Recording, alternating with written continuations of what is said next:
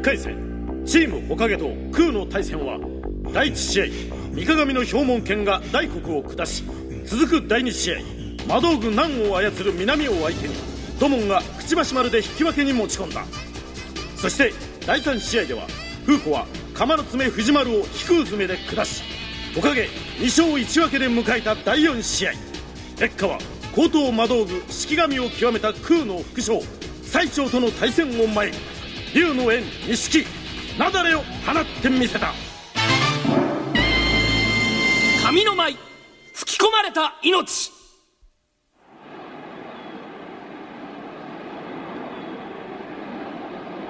10分です。10分以内にあなたを倒してみせます。なだれを見てまだそんな強がりが言えんのかいでは副将戦始めうれ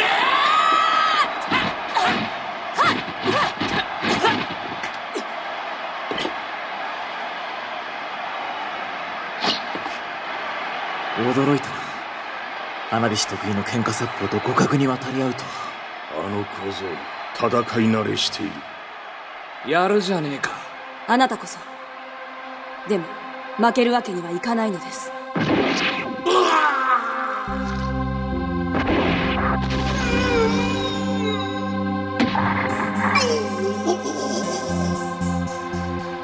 純粋な格闘集団であったはずの我ら空はいつの頃からか殺人集団と言われるようになってしまったそれは心ない弟子たちが空で鍛えた技で報酬目当ての殺しを請け負っていたからこの裏武闘殺人で勝つことは空が殺人集団ではなく純粋に格闘技の頂点を目指していることを示す。大きなチャンスだったんです。ところが。空の名誉を守るために組んだチームの中にさえ卑劣な殺戮者がいた。この上僕が無様に負けたならもはや格闘道を志す空の存在自体が危うくなる。負けるわけにはいかないのです。すげえ気だ。臨機から輪廻の巡る三つ巴我を祀らん宇治の橋姫。な何の真似よ。のんきに俳句なんて読みやがってよ。俳句ではない短歌だなの？どうもありがとう。短歌が彼の精神集中を高め式神を操る気を発している。行きますよ。烈火さん神演武はあ。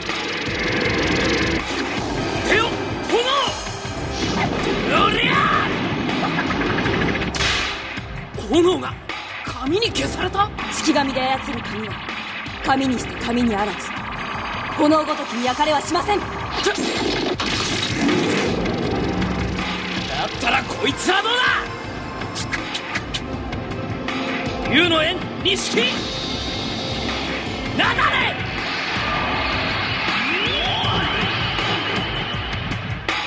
うらえ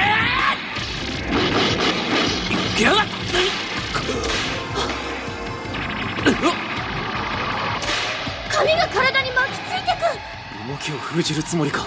いえそれだけではありません。うわぐわ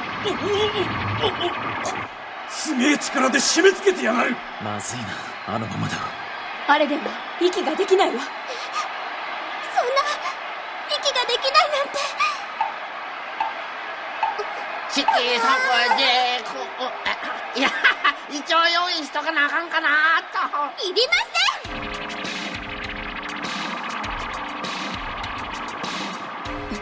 もう逃れられません。烈火さんの息が絶えるのは時間の問題です。何？言ったはずです。10分以内に彼を倒すと。せレンカなんとかしろ。早く抜け出厄介だな。炎も通じぬ魔道具式神から今の花火師に抜け出す手などない。い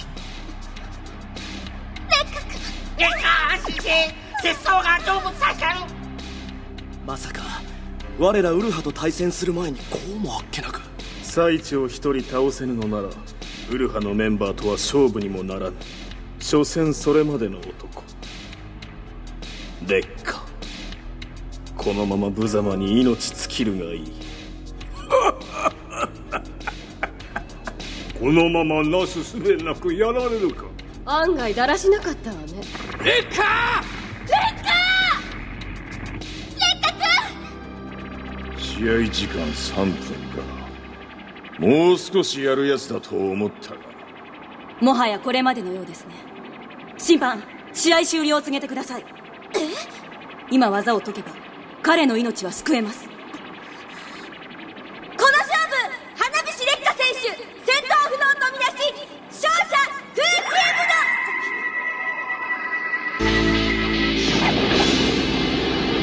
ムのあれは？さっきの炎とは違う僕の式網を打ち破った。うわーくくうわーこんななんて炎だ母体だけじゃなく劣化の言葉で切ろうとしてやるこらさや落ち着きや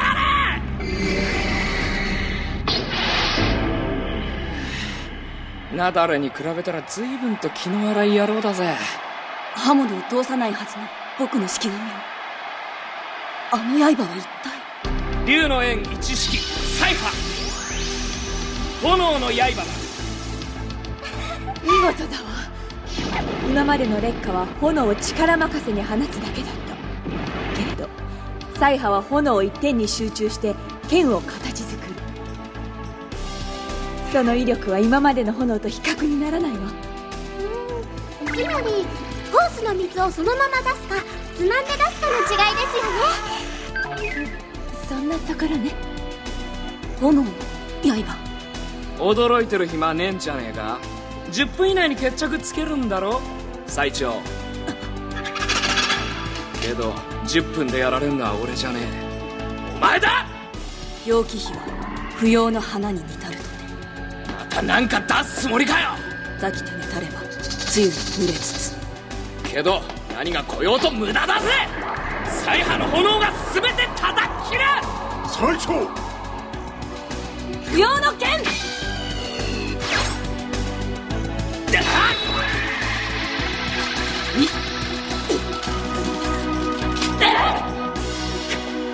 髪を剣に変えただと。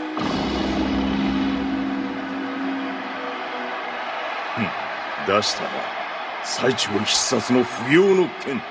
あれが最長の名を轟かせた千人斬りの不要の剣か。烈火さん正直嬉しいです。あなたのような強者と戦えることが心が高揚していきます。へ俺もだぜ。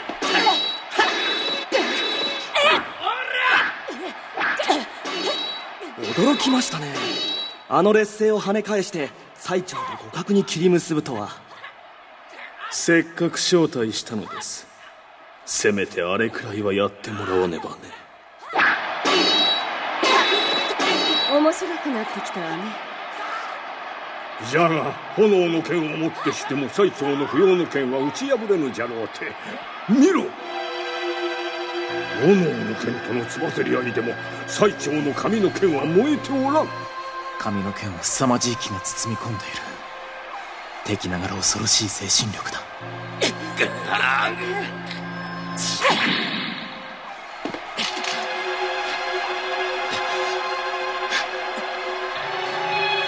最長何を手間取っている？時間がないぞ。僕は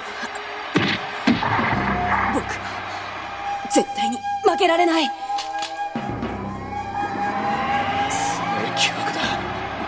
出すつもりかよ。秋風は老けども赤の忍び死に。だが目閉じてる今のあんたは隙だらけだぜ。来るを知らする鳴子からから。攻撃を待ってるほど腹かね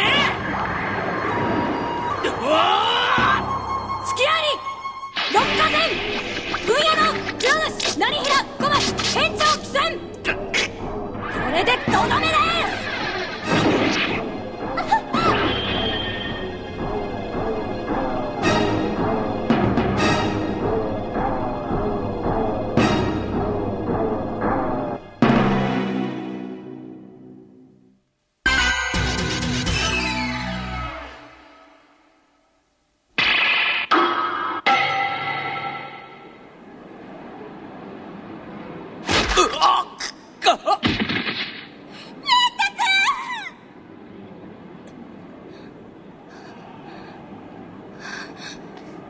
今度こそ決まりですね。審判僕に勝利の判定を。待てよ。まだ戦えるぜ。不要の剣を受けてまだ起き上がるなんて。確かにそいつの威力はすげえ。まともに食らってたらくたばってたろうよ。けど少しばかり威力が鈍ったようだぜ。あんたが勝ち急いだせいでな10分で俺を倒すとか言ってたがよ。本当は10分しか戦えねえんじゃねえのか？どうやら図星のようだな。全てお見通しですか？最長いいんです。師範代そう。あなたの言う通り僕の体は長い戦いには耐えられない。10分がいいところです。全ては弟子たちの暴走を止められなかった僕たちの無力が原因でした。水野竹下鈴木誰がこんなことを？師範代がいない時にこんな。我々がやったんです。空の技で。ねなんだって？そいつらせっかくのいい話にケチつけるもんでね。空の技が高い金になるってのに。よ格闘なんかじゃ飯は食いませんよ。力は思う存分活用しないとね。巷で空が殺人集団と噂されていたの。はあなた方の仕業だったのですよ最長さんきれい事はもうよしにしましょうよ。手を貸してくださいよ。金になりますぜ。嫌だと言ったら死んでもらうぜ。貴様らもうやめて最長恥を知れ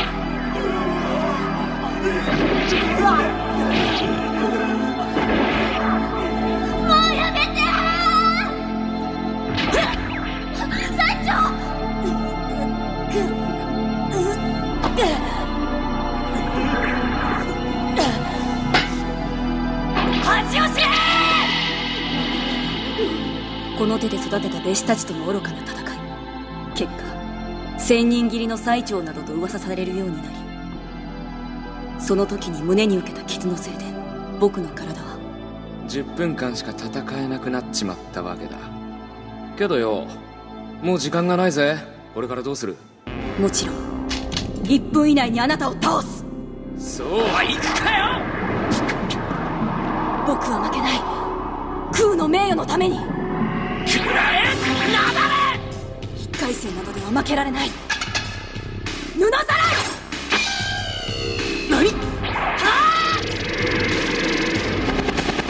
ナダルの軌道をねじ曲げただと。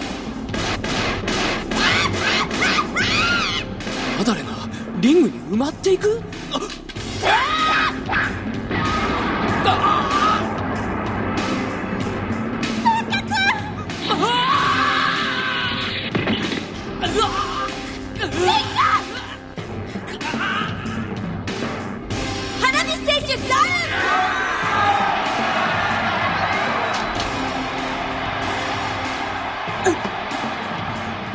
最長の様子もおかしい。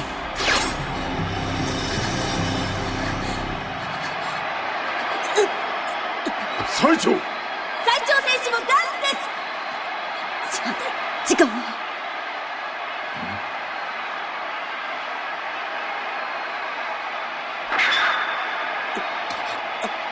これを使え最長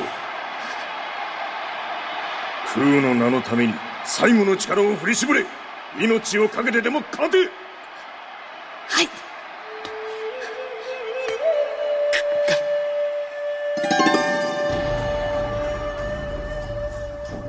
美空さんやはりこれを使うことになってしまいました。ごめんね。笑顔で見送るつもりだったのに。美空さんあなたが折ってくれた千羽鶴きっと僕を守ってくれます。分かってるの体で戦うことがどんなに危険なことなのか。ええ覚悟の上です。空の名誉を守るためなら僕の命など惜しくはありません。最長。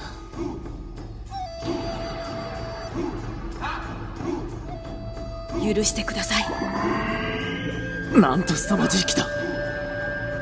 朝比奈の門を問うつつ問う寄せて百人力の鶴の門なりあははいやむっちゃ綺麗やな何のんきなこと言ってんの。あの鶴一つだけでも天井を砕く力を持ってんだよ。やばいよレッカ。劣化炎だ。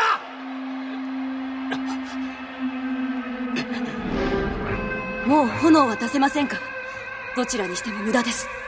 炎を出せたとしてもこの鶴たちは炎をかわして確実にあなたに襲いかかります。楽しい戦いでした今まで10分以上僕と戦ったのは師範代だけです。お前こそいい根性だぜ。そんだけの鶴に気を送って大丈夫なのかよ。ここまでしないとあなたには勝てない。それがやっと分かったんです。さあ受けてください。僕の全てをかけた技を。はて劣化はどうするかのう。どうしようもないわよ。あの坊やはもう満足に動けないんだから。ここまでか。い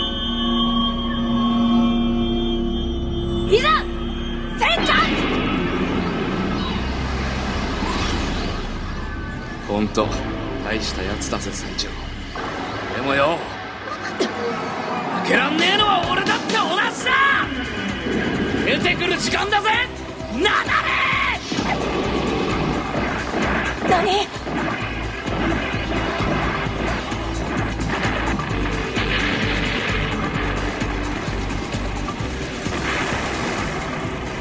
物さらして跳ねのけたはずの炎のさっき出したナダレは力を失っちゃいなかったのさ。石のリングの中で暴れてえって俺に囁いてた。正面から炎を出しても避けられちまう。だからじっと待たせて使う機会を狙ってたのさ。それを見抜けなかったとは。隊長！最後の力も使い果たしたもう限界です。僕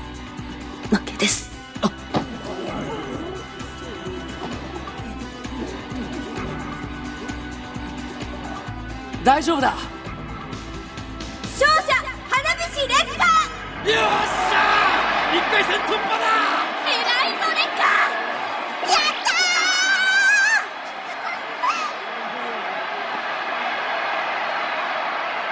隊長。その胸の傷が治ったらまたやろうぜ。花見事な戦いだった。おっさんだがこれで空の敗北この魔道具はお前たちのものだ。いいか？何が何でも優勝しろ。ああ。敗者に明日はねえからな。おっさんあんた？いでえ何すんだてめえ！待てって言ってんだよ！それで納得できんのかおっさん空の名誉のために戦いに来たんだろ？それが大将のあんたの力も見せられねえですぐすぐ敗退なんてよ。俺なら納得できねえな。何が言いたい？本気で空の強さを示したいなら大将のあんたがこの俺と戦ってみせるべきだって言ってんだよ。何？な何言ってんだバカ野郎！考え直せ！もう勝負はついてんだ！わざわざ戦わなくてもいいっし俺は本気だぜ。本物のバカだたとえ空海が勝ったとしても一勝3敗負けは変わらん。勝ち負けじゃねそうか。この俺と空にチャンスをくれると言うんだな。えなあ上がってこいおっさん。これで終わっちゃ最長が救われねえや。ガキが甘すぎるな。いいだろう。だが後悔してももう手遅れだぜ。勝負烈火の挑発に仏の空海の穏やかさは消えた。果たして空海の真の顔はいかなるものなのか？